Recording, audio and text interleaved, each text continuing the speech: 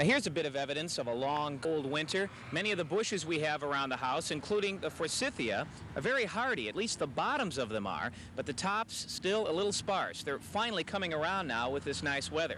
But the reason is the snowfall and the snow cover that we've had this past winter has covered up about the bottom halves of these bushes, and it's acted as an insulator. Meanwhile, the tops of the bushes were exposed to the open air and oftentimes temperatures that fell below 15 degrees Fahrenheit. Oh, sure, it may seem like weather forecasting is very simple on the hot and humid days like this. 90 degree weather and a lot of humidity out there, easy to forecast.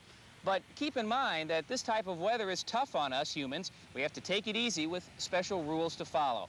Now, some of these rules may seem obvious, but with all the heat and humidity around, it's hard for our bodies to allow that heat to escape. So here are a few basic rules to follow when it comes to heat and hot humidity. First of all, wear light-colored eyes. The leaves of a tree take in carbon dioxide and give out oxygen. Our lungs do just the opposite, of course. We give out the carbon dioxide and take in the oxygen.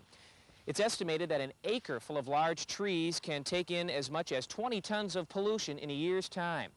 And a large tree, like this one, is estimated to contain as much as a half a million leaves.